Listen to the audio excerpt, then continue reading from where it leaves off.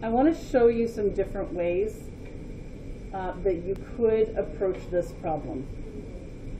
When I look at it, I want to multiply the first equation by negative 2.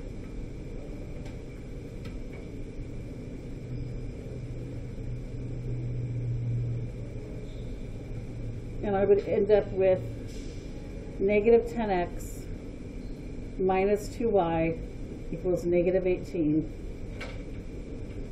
And then positive 10x minus 7y equals negative 18. I took the first equation and I multiplied it by negative 2x because I wanted to get the opposite of this 10x. You see what I've done there? I'm not going to solve it yet. I want to show you there's another way I could have started it.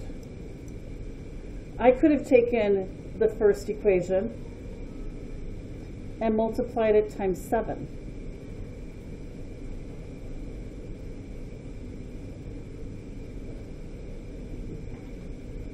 And I would have gotten 35x plus 7y equals 63. Then I would line up the second equation.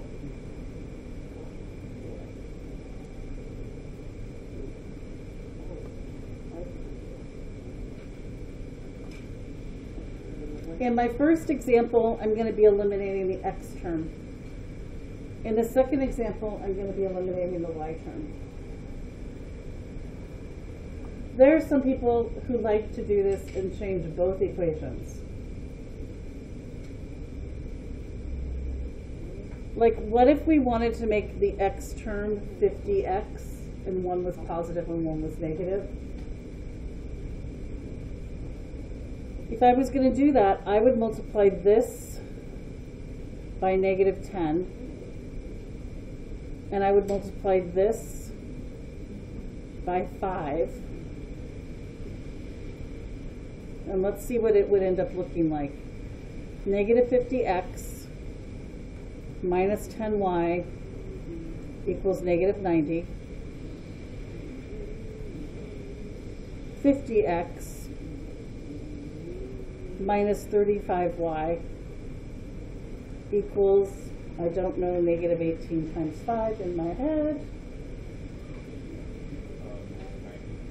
It is negative 90.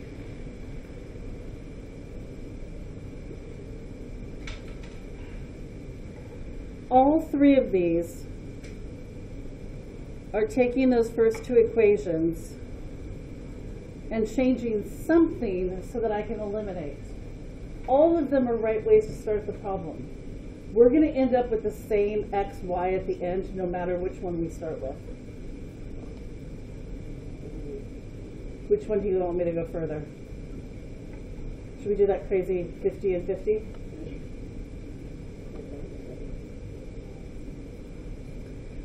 These are going to eliminate. I'm going to end up with negative 45y is equal to negative 180. 180 divided by 45 gives us 4.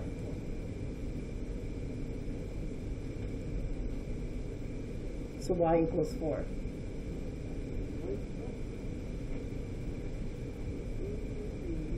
Let's try it with this one.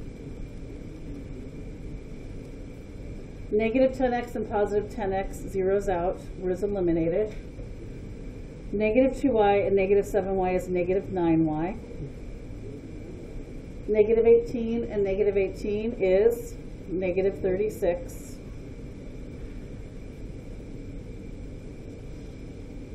I get y is equal to 4.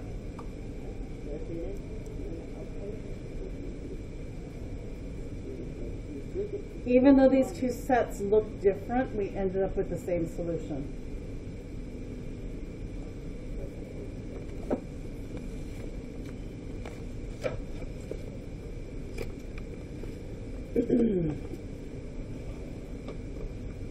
Let me take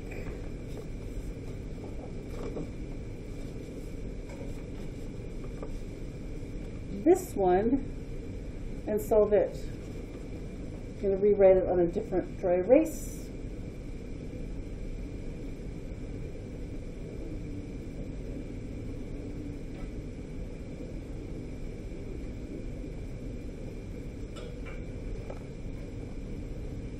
What's going to get eliminated this time?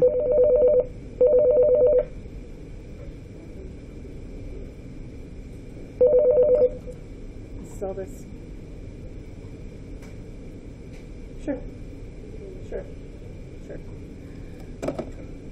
Francis, Mr. Gregg needs you.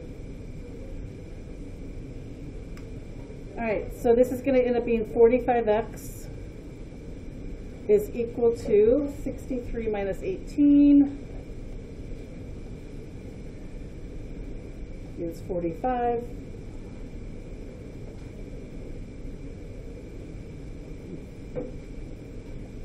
X equals one.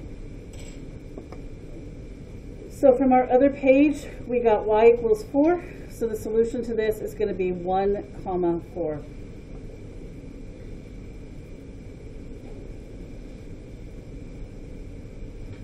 That's one of the things that I really like about elimination. It is not my favorite way. I prefer using substitution to solve these when I can't graph. But I do like that you can do a lot of different things with elimination and you make the numbers things you want to work with.